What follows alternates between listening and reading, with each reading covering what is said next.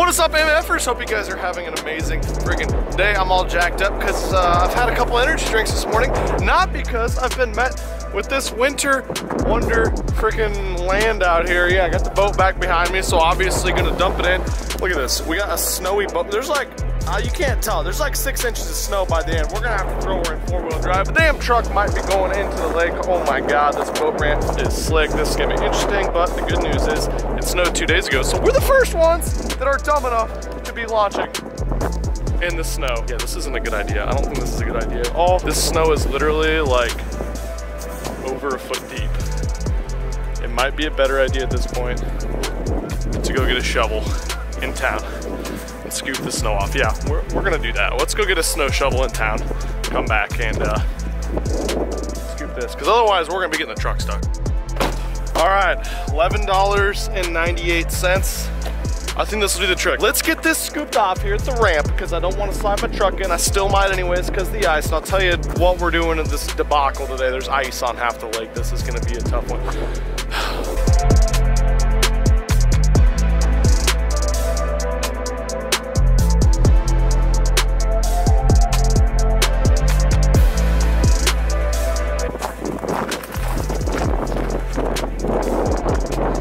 Okay, got her finished up. I hope this is wide enough for the boat. Uh, for those of you who think I'm a puss or that I was exaggerating about the thickness of snow, let's do a little measure action. So there's the bottom. Here's about how thick the ice is, snow is, whatever. You guys see what that is? 18 inches. All right, hope this is wide enough. Let's throw the truck in four-wheel drive, back this biatch down, get after some fish.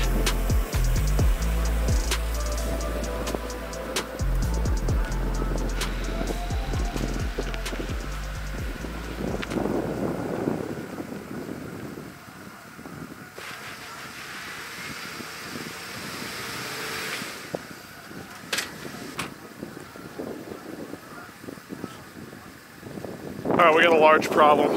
Um, yeah, that's too icy to uh, pull the boat up out of the water at this point. So uh, I don't really know what to do. There's a bunch of gravel in the part. I think what we're gonna do is we're gonna dump the boat in, see if we can get the truck up, and then I'm gonna scoop a bunch of gravel onto the ramp that's around here, which is gonna be a giant pain in the ass, but I think that's all we're gonna be able to do to get this boat out because it is bad. Insanely slick. This is a bad idea. All right, boat is launched. Uh, don't know how we're gonna get it out because it's too slick. Actually, when I hit the brakes with the boat on the trailer still when I was backing it in, the truck slid about 10 feet down the ramp, which was terrifying. I had nowhere to stop it. So I just spent about another 20 minutes scooping extra snow and ice out from where the truck tires are on the ramp. I don't know if that's gonna work. We might have to scoop more later. I have to go back to the hardware store and get some uh, sand. We might have to throw some gravel in there. I don't know, but uh, here's the boat. Let's go take the boat and catch some fish. Last week I went and did some treasure hunting at a lake that had been drained and found a whole bunch of new lures. One of the most uh, one of the most popular things you guys wanted me to do was to go out and use them. These are the new lures right here. I threw some split rings, some new hooks on them, and we're gonna try to catch some fish today on these baits. You know, it's not gonna be easy. The water's probably 35 degrees. There's ice on half the lake. We're just gonna have to make do, but well, with some lipless baits that I found, hopefully these uh, do the trick. I'm gonna yo-yo them out deep off the bottom. Hopefully let's go find some fish right now. I feel like after what we've been through so far today, we deserve to find some fish, so uh, let's get after them. All right, so we just idled around, found a couple little pods of fish. Now they move around really quick, so we're gonna have to move quick to follow them up. I just tied on this uh, this Booyah, I think, or Excalibur hard knocker. It's the three quarter ounce version we found. I wanted a bigger one because it's gonna sink faster. We're gonna be fishing up to like 25 to 35 feet of water. So we want something that's gonna get down to the bottom as quick as possible. So we're gonna kind of alternate between this and that uh, in the old blade bait because blade bait's been catching them really, really well out here. See which one they like better. Hopefully catch something on a bait that we found. That'd be super cool. A largemouth spot over there that I like to fish has ice on it right now. So we're gonna have to wait till a little bit later. It's supposed to be a little windy today. So hopefully the wind kind of breaks up some of that ice and then we're able to go over there and catch some. But gonna be a challenge today. Honestly, I have a little bit of unused fishing, not knowing how we're gonna get the boat out of the lake. Obviously, it's much heavier to pull the boat out when it's on the trailer than just the trailer by itself. That's why I was able to pull the trailer up there, no problem, kind of no problem. It was still really slick. Um, so yeah, I, I don't know if we're going to call a tow truck or throw a bunch of gravel and shit on the, the ramp and see if that works. But for now, let's fish, let's catch some, hopefully. Water is 36 and a half degrees. Air temperature is about 18. So uh, yeah, it's a little chilly. Uh, yeah, that's, uh, that's what you want it to look like. Now let's catch those. Jeez, it's been trying so damn hard for them. Finally hooked up. Hell yeah.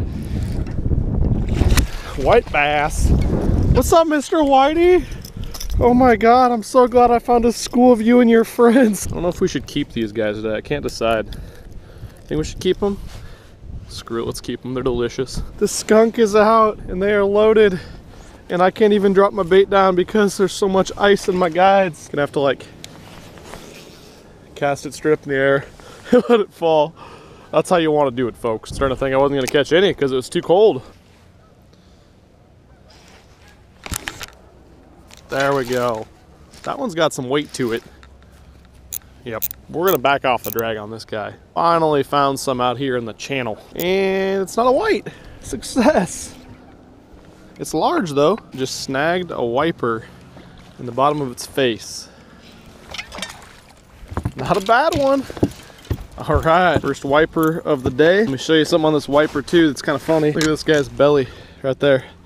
That's red from sitting in the clay at the bottom of the lake. Not a giant, probably a four and a half, five pounder, but first wipey of the day. Woo, they're cold. There we go. Oh God, we got something big. Came up here next to a channel, flipped in, and we might have ourselves a catfish or a big wipey or something. Weird though, right up on the point. Is it a wiper? It is a wiper. Hell yeah, we're gonna net this dude. Yeah, bud. Snagged him. I'm the snag master. Not a giant. And they're clearly just like slapping at the bait because I'm getting them in the under the chin. This guy is on the side. Again, not a giant, but not too bad when the freaking there's ice up there on the water, on the bank, on everything else. And we're catching them. There's a giant school right here, right by a brush pile and very little water.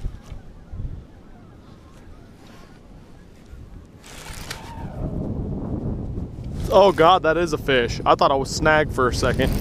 We probably snagged something else. Oh God. We freaking found the mother load of fish. I can't catch them in the damn mouth, but that's not important. Yep, she's pulling drag. Makes me nervous because my freaking rod is frozen. Literally frozen. I don't know if you can see it. It looks white, part of it. Oh, here he comes. Wiper in the tail? Good God. We found the freaking wipers. We just can't get them to bite. But hey, catch them in the tail is just as sporting. No, it's not. What's up, dude?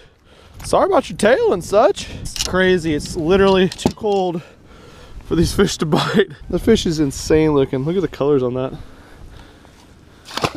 Later, bud. If you don't spend a lot of time reading uh, side imaging, you might not think much of that. But this is all fish right here. I'll click on it we'll zoom in. You can see the shadows below but that is we're not moving so it's kind of hard to see them but that is all fish right there. I suppose we'll try to catch more. Let's do that. Oh i literally don't think these fish are biting. That's them stacked on the bottom. And i'm just ripping my freaking bait up off the bottom. Catching stuff that looks like this because there's brush piles everywhere. We got fishing line for days.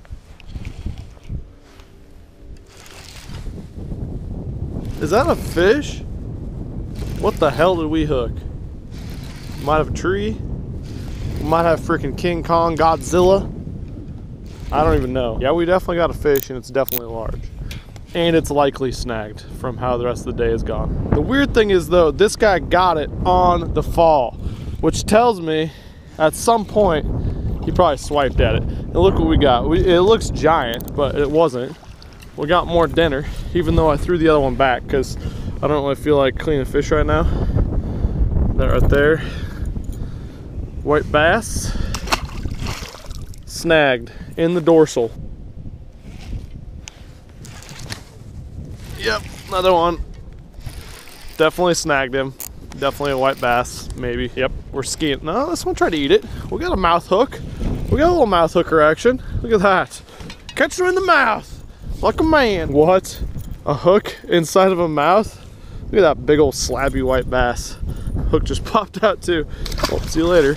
The ones that get hooked in the mouth are barely hooked. The ones that I snag wouldn't come off in a million years. This is freaking wild though. I'm usually out there in the middle of nowhere and I'm casting up literally to probably like four or five feet of water and then just popping it off the edge. There's a, a bluff right here with a really sharp drop. I'm actually sitting in like 24 feet of water. It's deep right here. There's another one. Clearly a group of fish right there off the edge. They're eating this thing. I'll link all my tackle, like all my videos down below. These guys are actually eating in the mouth too. These are white bass. These are really big white bass. Tankers. Absolutely awesome. I probably should be keeping them to eat them, but look at that. That's a fruit. That's a stud white bass right there. Just to give you guys a little bit of reference for the size. Let's throw him on the board quick. Close your mouth. Yeah, he's about 17 inches. 17 inches is a big white bass, especially when they're built like that. We got white bass, wipers, giant shad. I assume there's probably some catfish too. Surprised we haven't hooked a big catfish yet. Waiting for that, that'll be badass. But I mean, I was driving by here, just scanning around. There's another one. They are loaded right there. I saw a big school and then I was looking at it, I was like, no, no way. Those aren't fish. There's something on the bank right there. Look at that, freaking tanks. Tank whites, every cast now. But I saw the big school of them up there and I was like, those are freaking fish on my finder. But how in the hell are they, it looks like they're on the damn bank. When they're this close to the bank, it's hard to see fish on side imaging. But these schools are so big, there's literally hundreds of fish in the schools. And I mean, there's there's big wipers roaming around out here. We need to try to catch some more of those, not just snag them. About to tie on one of these other lipless baits we found the other day. See if they'll eat that too. The problem is the lipless doesn't fall nearly as fast. And when I'm working it down this ledge to 25 feet, takes forever for it to get down there.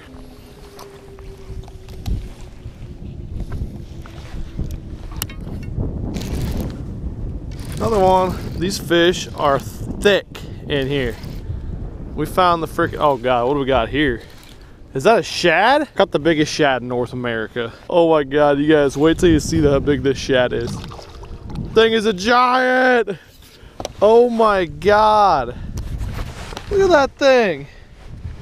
It's bigger than my shoe. Shad, catch and cook.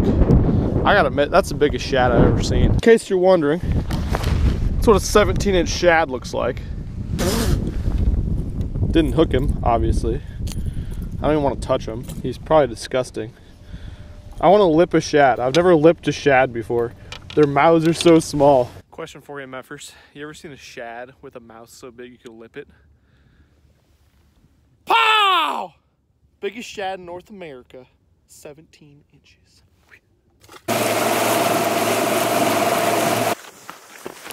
Well, guys, I'd be lying if I said I wasn't nervous for what we got to do next. Uh, as of earlier, could not pull the boat out of the water on the trailer. Time to see if things have improved at all. Otherwise, we're gonna be scooping a bunch of this gravel parking lot onto the ramp to try to get some traction. Never fun, but at least we caught some fish.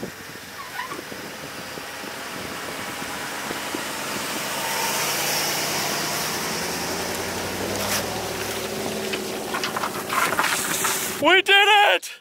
The boat is out. We didn't have to call the tow truck.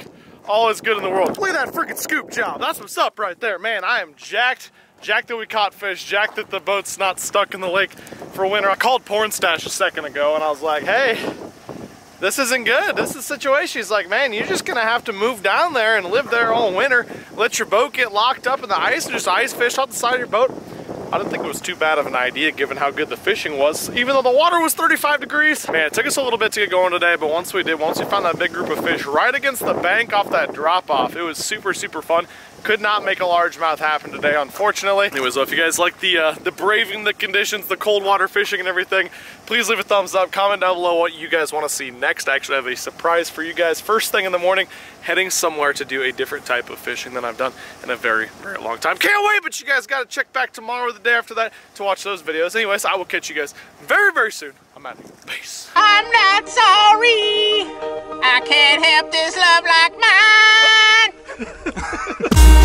I'm not sorry. I can't stop with a love like mine. I can't stop with a love like mine.